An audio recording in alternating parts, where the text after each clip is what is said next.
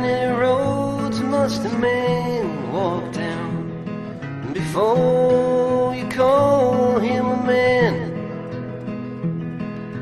How many seas must a white dove sail before she sleeps in the sand?